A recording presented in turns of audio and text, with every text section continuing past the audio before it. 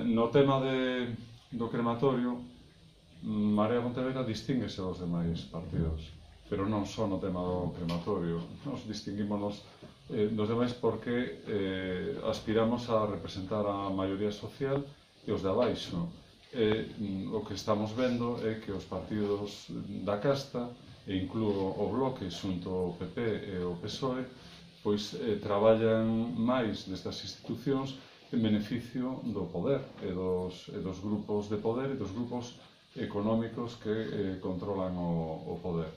E soubese mm, claramente, mm, no, no vosso caso, pero vese noutros casos, non? Por exemplo, hai eh, un, unha infraestructura, unha grande infraestructura eh, chamada A57, que é un, unha autovía innecesaria, que se quere eh, construir entre eh, que leva de Ningures a, a Ningures e que eh, saiu a licitación o seu primeiro tramo de 6 km que mm, estraga o monte da Fracha e que sae a licitación por 87 millóns de euros, non? que eh,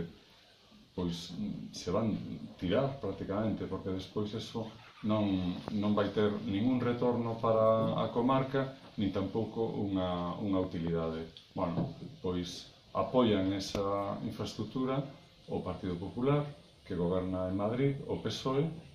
eh, que gobernou en Madrid, e o, e o bloque eh, Pontevedrés. Nós estamos en contra de, disso.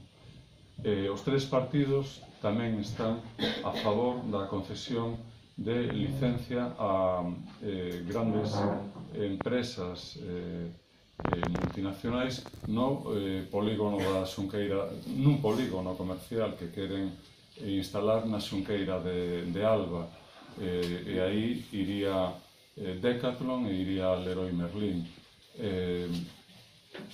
utilizan o argumento de que eso trae postos de traballo a Pontevedra, é certo que trae algúns postos de traballo a Pontevedra, pero destrue moitos máis dos que, dos que crea, porque desaparece eh, por esa eh, competencia terrible boa parte do comercio de proximidade, do, do pequeno comercio, do comercio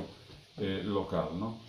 eh, aí volven estar os tres partidos tamén xuntos, non? Eh, volven eh, facilitar eh, todo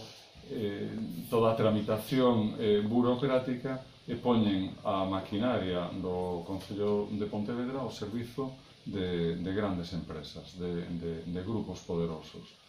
Eh, vémolo tamén nos recheos do Porto de Marín. Eh, bueno, Porto de Marín, que eh, boa parte deses recheos están en, en, en Pontevedra. Son terreos gañados ao mar, mm, seguindo unha lógica eh,